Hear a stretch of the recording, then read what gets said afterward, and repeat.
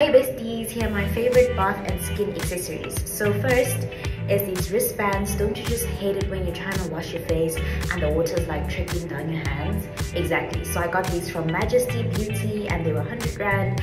And for my next item, I have my face cloth. It has like an exfoliating side which I don't use because I'm not trying to do all of that on my face.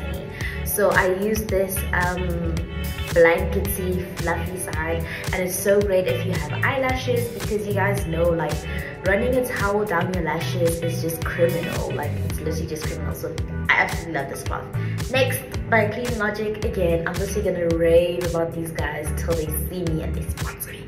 But then it's the exfoliating cloth. I really love this.